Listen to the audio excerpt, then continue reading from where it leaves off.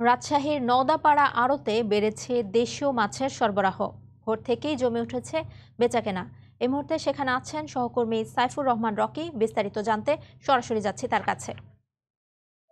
রাজশাহীর নওদাপাড়া যে মাছের আড়ত আছে, প্রতিদিনের মতো আজও ভোরের আলো ফোটার পর থেকেই কিন্তু এই আড়তে মাছ বেচা কেনার যে কর্মযজ্ঞ, সেটি শুরু হয় এবং সেখানে কিন্তু আশেপাশে যে পুকুর চাষিরা আছে, তাদের পুকুরে বিভিন্ন চাষ করা মাছ নিয়ে এখানে নিয়ে আসেন এবং পরবর্তীতে তা হাক ডাকের মাধ্যমে বেচা কেনা হয়। আপনারা দেখছেন কীভাবে তারা এই পুকুরের মাছগুলোকে তাজাই সংরক্ষণ করে এখানে নিয়ে আসেন এবং এখানেও কিন্তু সংরক্ষণের যে ব্যবস্থা, সেটি কিন্তু তারা এখানে করেন। কারণ এই মাছগুলো এখান থেকে বিক্রি হওয়ার পরে কিন্তু যেগুলো দেশের বিভিন্ন প্রান্তে চলে যাচ্ছে এবং অনেক ক্ষেত্রে তাজা মাছও কিন্তু এখান থেকে ট্রাক যোগে দেশের বিভিন্ন প্রান্তে চলে যায়, রাজধানী ঢাকা সহ। এছাড়াও কিন্তু প্রচুর পরিমাণ মানুষের আনাগোনা, বিশেষ করে ক্রেতা বিক্রেতার যে আনাগোনা, সেটি কিন্তু আমরা দেখছি এবং প্রতিটি আড়তদারই কিন্তু এখন প্রচুর ব্যস্ত সময় পার করছেন। কারণ তাদের যে আড়তগুলো আছে, আড়তগুলোতে এখন মাছে ঠাসা এবং সেই মাছগুলো ভাগ ডাকের মাধ্যমে যে বেচা কেনার প্রক্রিয়া, সেটি চলছে।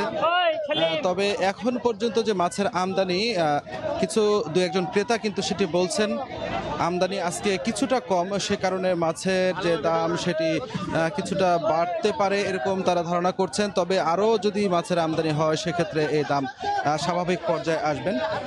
এখানে রুই, কাতলা, মৃগেল, সিলভার কাপ ট্যাংরা পুঁটি সহ বিভিন্ন ধরনের যে মাছ, সেটি আমরা দেখতে পাচ্ছি। পাশাপাশি পুকুরে চাষ করা বিভিন্ন মাছের পাশাপাশি এখানে নদী বা খালবিল থেকে কিছু মাছও এখানে ওঠেন এবং সেগুলো কিন্তু এখানে বিক্রি হচ্ছে। মাছের আজকে দাম আছে ভালো, এমন ক্রেতা কিন্তু এখান থেকে বলছেন।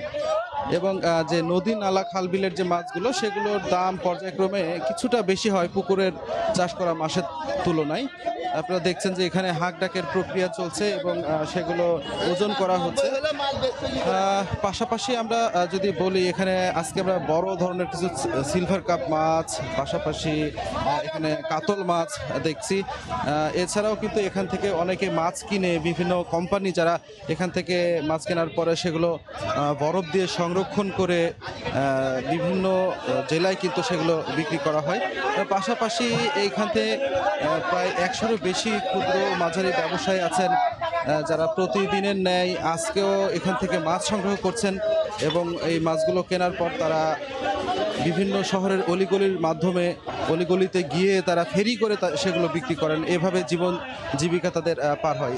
এই এই নদাপাড়া আড়তের এই কর্ম আপনারা চিংড়ি মাছ দেখছেন যেগুলো বরফদের সংরক্ষণ করা হচ্ছে এবং এগুলোও কিন্তু হাক ডাকের মাধ্যমে বেচা কেনা হচ্ছে। যেটি দাম হাঁকা হচ্ছে সাতশো টাকা করে প্রতি কেজি। এছাড়াও আমরা আশেপাশের যে মাছ কিছু সংগ্রহ করেছেন সেগুলো দেখানোর চেষ্টা করব। আড়তদারদের আহ, দেখানোর চেষ্টা করছি। তারা ব্যাপক এখন ব্যস্ত সময় পার করছেন আপনারা। সেটি দেখছিলেন। বিভিন্ন কোম্পানি রয়েছে যারা দেশের বিভিন্ন প্রান্তে তাদের আউটলেট রয়েছে এবং এখান থেকে মাছ তাজা মাছ কিনে নিয়ে গিয়ে তারা কিন্তু সেই আউটলেটগুলোতে তারা বিক্রি করে থাকেন। আপনারা দেখছেন বিশেষ করে যারা কোম্পানির বিভিন্ন কোম্পানি রয়েছে, সেই কোম্পানি তারা যে মাছগুলো সংগ্রহ করছে, এগুলো সেই মাছগুলো এবং কিছু মাছ কিন্তু এখান থেকে তাজাই সংরক্ষণ করা হয় এবং তাজাই কিন্তু সেই মাছগুলো তারা নিয়ে যান। সব মিলিয়ে আসলে নদাপাড়া যে মাছের আড়ত রয়েছে, সেখানকার যে কর্মযজ্ঞ, সেটি ভোরের আলো ফোটার পর থেকেই শুরু হয়, আমরা আজও তেমনটি দেখছি এবং হাঁক ডাকের মাধ্যমে বেচা কেনা কিন্তু জমে উঠেছে। এই ছিল আমার কাছে রাজশাহীর নদাপাড়া থেকে মাছের সর্বশেষ। সরাসরি যুক্ত হয়েছিলাম রাজশাহীর নদাপাড়া আড়তে।